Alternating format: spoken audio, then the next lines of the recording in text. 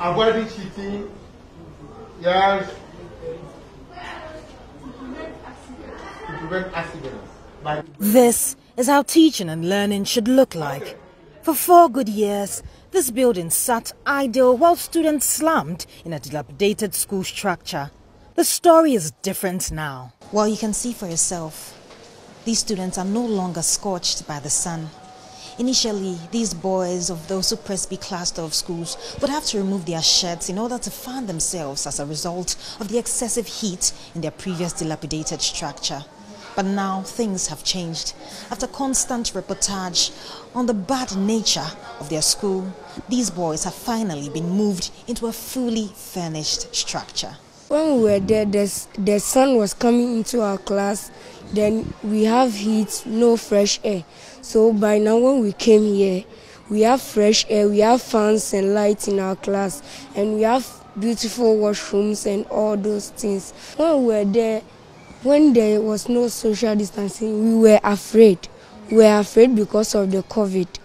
Maybe someone has it in the class, then it will affect all of us. So we're afraid. But now, when we're here, when there was social distancing, we don't have any problem again. When we were there, some of us, um, the uniform we wear, the decks always tear the butt of our uniform. But when we we are here, we have new dexes, and the dexes that we have one single, so one person sits on single deck, so we have space on that X too.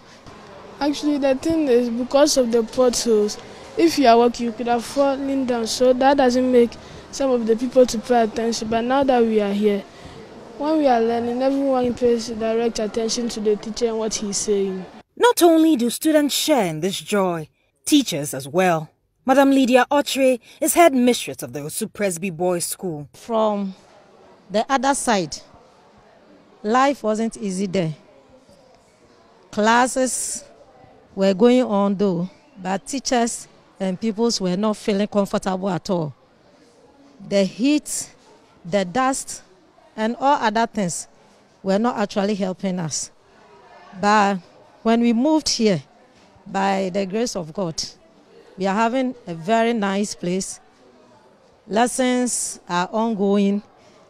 Learners are also enjoying. The Korle Klottey Youth Alliance has also been pushing for the relocation of the students for a while now. The new development has indeed brought great excitement to them. Niotin Krayankra is executive director of the group.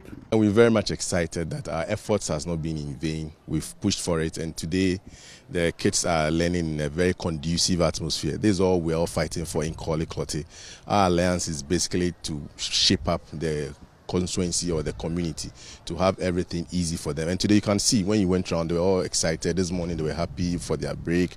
They were happy in the classroom. They've had new chairs. They've had everything. So we say, well, I thank everybody that puts in their efforts, especially the municipal chief executive. Although students of the Osu Presby Boys School have been moved into the new building, other students within the cluster still remain in the previous structure. Municipal Chief Executive for the Korle Klottey Municipality, Nii Adjei Tawiah, who spearheaded the movement, however told Joy News that more work needed to be done, like the provision of potable water.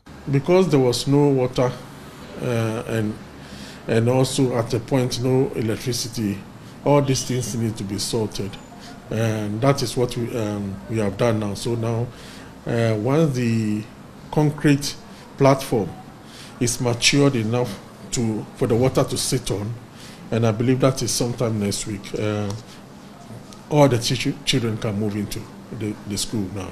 Well, some officials and beneficiaries of the new structure had something to say to Joy News. We are grateful to Joy News. We even saw the pictures you took the other time, and I, I, I was shocked. I said, Wow, how can a lady climb up a car for our sake? Yes, we are grateful to you. We hope that you continue to do this good work to help all those who are in need. Indeed, there's a lot to smile and scream about. Judith Chitando, Joy News.